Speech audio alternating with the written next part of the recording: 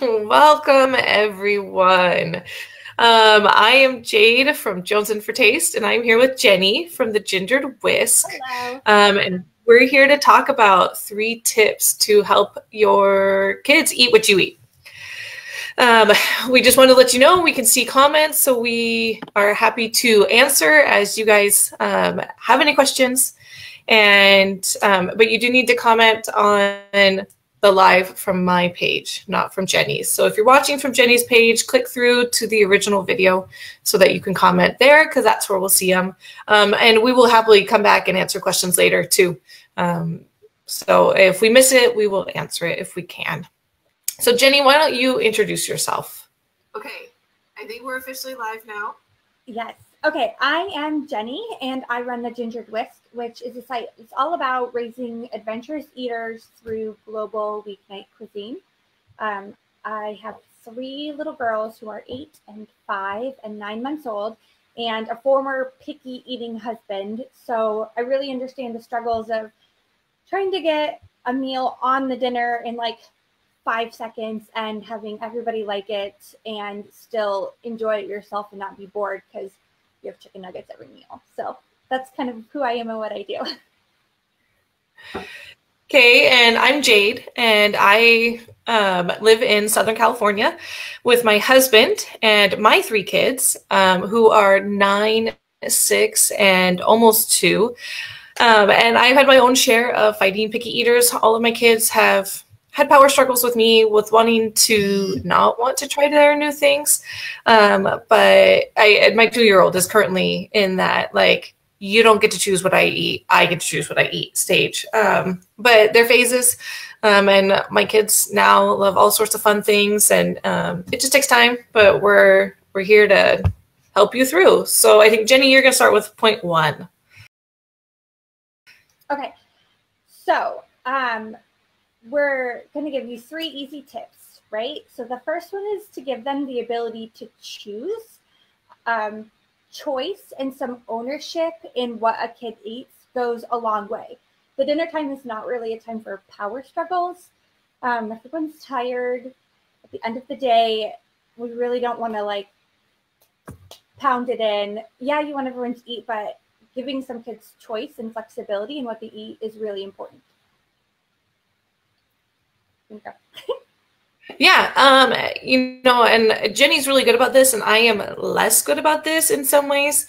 Um, when it comes to main dishes, where um, she's really good about like making like giving the kids the option to do like a soup and then giving them the option to choose toppings or um, you know you just had that um, like egg muffins where they could customize their own egg muffins. So i tend to just like do all the ingredients separately.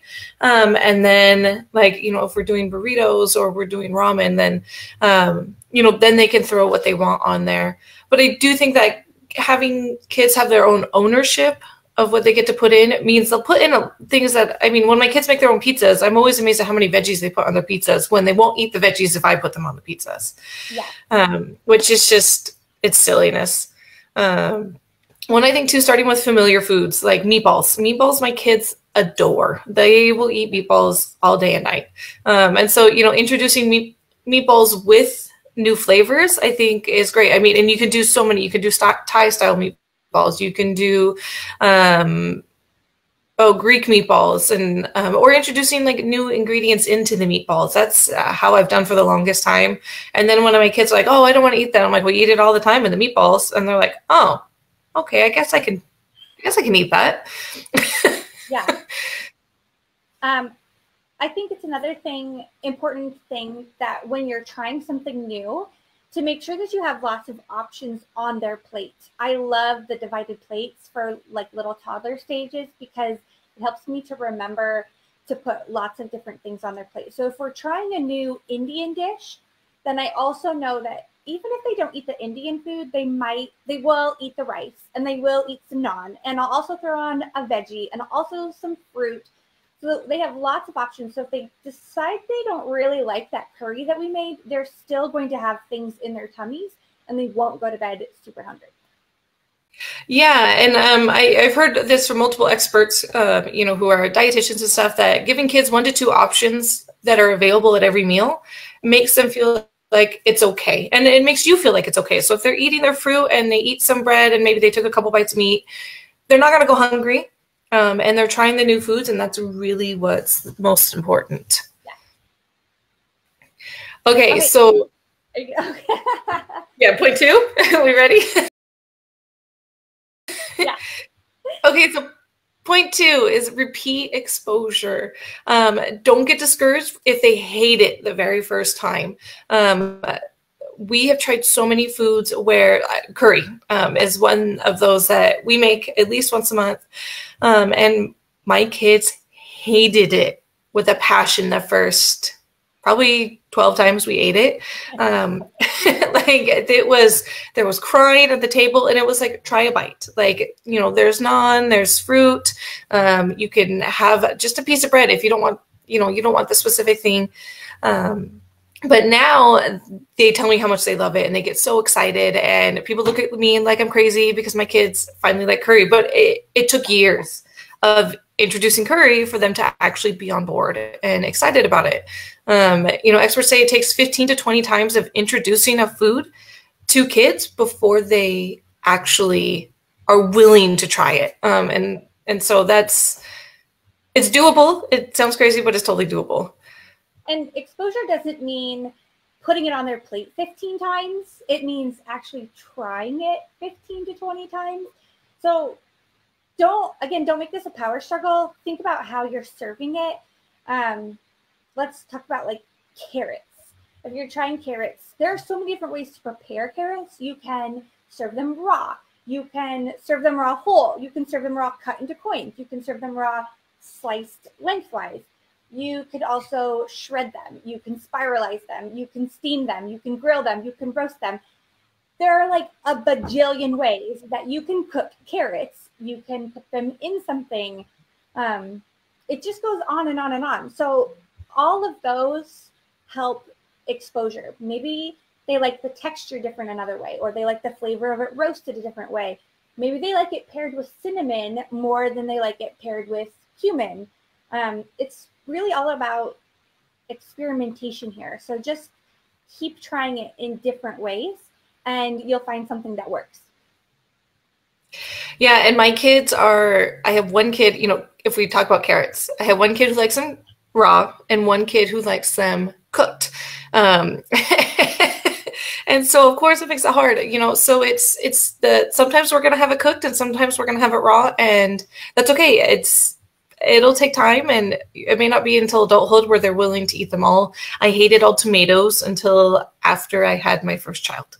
Yeah. Um, the first time I ever had asparagus, I had it boiled at a friend's house, like in a pan with water and boiled, and it tasted like grass, and I hated it. And I thought I hated asparagus until I became an adult and I tried it roasted, and I was like, oh, this doesn't taste like hay. so yeah, just cook it differently, try it differently. Um, different ways of cooking changes its texture and its flavor. So don't give up, just keep trying. Yeah, well, and I think having like an established routine um, of what your family deems acceptable for trying foods. Um, you know, for some families, that might be you try one bite and it has to be a teeny tiny bite because that's really all that your child really will accept as an acceptable solution. Yeah. And that's okay. Um, for my kids, as because we've already been doing this for their whole lives, we have them they have to take the number of bites however old they are. Oh. um, and sometimes that's really brutal for my six year old um, especially because he's turning seven and so he's very scared about like i have to take seven bites um, but you know my nine year old who used to be my pickiest eater just kind of accepts it and she'll eat nine and then she's like i'll finish it. Like there's only three bites left and so she'll finish it. Um, so you know you have to figure out what works for for you and we have a one bite rule. So you have to have a bite, not a nibble, not a lick, a bite. But I know there are other families who have like sensory issues where a lick is fine for them. So I think you really have to think about who your children are and what their personalities are and how you can push them a little bit without crossing that line. So it's definitely like a family by family situation. Yeah, uh, you know, and I have friends who have sensory issues. Um, their kids do, and and her husband does as well. And like they would starve rather than eat. And obviously, yeah. forcing them to eat seven bites is never an okay yeah. thing for their family, and that's totally okay. Yeah. Um, you know, and uh, you know, when getting kids to try new foods, I have been so amazed at how much exposing them through other mediums um, helps them. So my kids, I would make a dish, like say, I make Greek meatballs. They will not touch them. We watch a TV show like Diners, Drive-ins, and Dives where they make Greek meatballs, and my kids are like, "Hey, Mama, can we make that?" And I'm just like, "I'm going to hurt you." Like, yes, we can. Let's go make Greek Greek meatballs right now, but I totally did that like two months ago and you wouldn't touch them at all. Um, so, you know, it's, it's funny, but there's lots of really cool shows out there. Um, one of our current favorites is Somebody Feed Phil, where um, it's the creator of Everybody Loves Raymond. And he goes out and he travels to all these different places and tries all sorts of foods. And my kids have been so excited to try all these new foods that I didn't think they would ever be interested in trying. Yeah, there are a lot of really fun books out there too that are about kids. Um, we just read one the other day called How to Feed Your Parents, I think was what it was oh. called. And it's about a little girl who wants to try all these other foods, but her parents only want pizza and mac and cheese. And so she starts cooking herself and discovers, it teaches her parents how to love quiche. And then there's a recipe at the end of the book for quiche. And do you know what my five year old asked to make for dinner that night? It was quiche.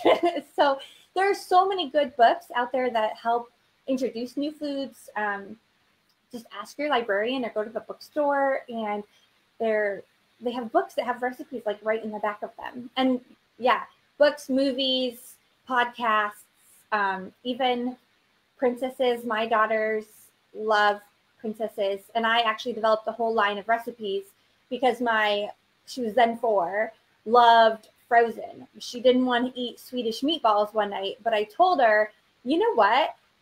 This is Anna and Elsa's favorite meal. They eat this all the time. And she was like, no way. And you can eat all of the meatballs on her plate and ask for seconds.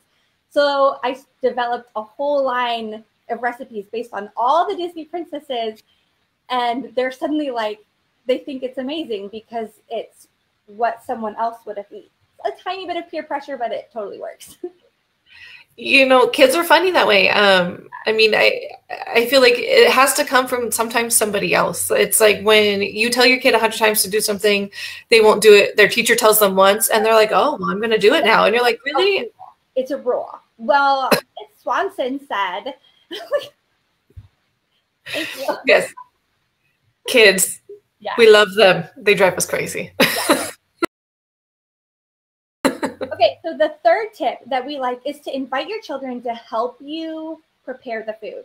Um, this goes back to the ownership of it. The more involved they are, the more likely they are to try it. So have them help you pick what meal you're going to have, even if it's pizza or mac and cheese. That's fine as long as they're taking an ownership in what they're having. Um, then have them go to the store with you and help pick things out. And you can say things like, hey, let's find five red apples, or can we find three different green fruits to eat this week? Or, you know, like, let's just pick out these ingredients that we need. Then they're exposed to it from the beginning, and then they can help you prepare them at home and they help you cook it when they do all those things, they're like, I picked this recipe. I got the things at the store. I helped make it. And now I'm going to eat it because I'm super excited about it. So just getting them in there as much as possible is really important. Yeah, well, and I like to do sometimes. I don't generally take my kids shopping, but sometimes I do. And uh, taking kids shopping, not my favorite thing to do. Yeah. Um, but especially my son who right now is going through a really picky phase um, it's asking him like well what would what vegetable would you like to try um, you know and it's we're in sprouts and there's you know obviously dozens of different kinds of vegetables and i'm always surprised at what he picks. Um, so he was the one who picked brussels sprouts and you know and so i used a preparation method. I already knew he liked with green beans. They love like lemon pepper green beans. And so I did that with the Brussels sprouts, and he loved the Brussels sprouts. Um, but it was really eye opening to me of how much like letting go of control means that you get what you want in the end. Um, and my daughter's the same way. Like she would not eat anything that was not like that traditional pasta color. Um, but so I asked her one day if she wanted to help me make sweet potato gnocchi. She loved the process of making it. It was great one on one time. And at the end of the day, she ate the sweet potato gnocchi, even though she never would have eaten that color anything before. Um, so you know, and that's that's part of making it fun, and and, and it it also helps you to establish these really great family memories too, um, which in the long term is really what it's all about. I mean, yes, we want our kids to eat food, but we also want them to have these happy memories of spending time with mom or dad in the kitchen. Yeah, we want to build good memories around the kitchen table and not eat your meatballs, take another bite. Why aren't you eating that? Like that's not the kind of family dynamic that we want to create at the table or in the kitchen. Yeah, um, nobody really wants anybody crying at the table. That's that's not the ultimate goal of mealtime. it's not fun for anybody. yeah. Um, well, and I think the last thing too that we found is making it fun. Um, you know, so if you're trying like a new Latin meal, um, we'll turn on some Latin music and it's fun and we're dancing around and it just changes the energy in the room and and helps everyone kind of feel like this is something fun and it's like we're at a restaurant but we're at home and like oh like maybe we can you know maybe we'll make it fancy and set out some china. And all of a sudden the the whole feeling around the meal has really changed. Yeah uh, one of our favorite meals to eat is ramen. And because we tell them about like a little bit about the food culture like okay so we're having ramen today and we're going to practice using chopsticks. And everybody's having fun because we're you know we're trying to learn how to use chopsticks and we're making a mess and it's fun but ramen is also fun because you can pick up the bowl and like slurp it and you're supposed to make like loud obnoxious noises and you get food everywhere and it's a messy fun meal and kids love it. So yeah just making food fun and enjoying your time together instead of stressing about how many bites you took is really important yeah. Well, I think it just relieves the stress for everyone. It's it's feeling like it was successful, even if maybe it wasn't as successful as you wanted. Um, but success is all about baby steps. Um, and so, you know, if they take that first bite, it's a it's a win all around. And so you go for it. Yeah. Okay, well, we are so grateful that you came to join us today. We'll do this again, um, but we wanted to invite all of you that if you are really excited about maybe trying some new foods and exposing your kids to some new foods, we have the Family Global Eater Challenge that is starting October 1st. Um, we will stick a comment in with a link to sign up. Um, it will be here on Facebook. It's a five week challenge. We are covering Asian, Latin American um, food Mediterranean, Middle Eastern, and then African food. Um, and this is a, journey for our family as well. We don't cook a lot of African food, but we thought this would be a really fun opportunity to explore some really cool flavors um, that are out there, which are really awesome. Um, so, Jenni, it's really easy, and it's not going to take up a whole lot of time. We wanted it to be like baby steps, so we are starting with Asian food because we figure most people have been exposed to that at least a couple of times in their life. Um, and then we're going to kind of go walk you through easy recipes and tips and tricks to make it weeknight friendly, as well as how to get your children and the rest of your family to eat it and enjoy it. Um, we're going to give away lots of prizes too, which will be really fun. So it's just going to be an easy, fun, stress free, easy, really just yes. a fun challenge yeah, we want people to be successful in this. We don't want people to feel like, oh my gosh, I don't want like We're a challenge, but it's not going to be a challenge. Yes. Um, so we really hope you all will join us, um, and we will talk with you all next time. Yes. Thank you.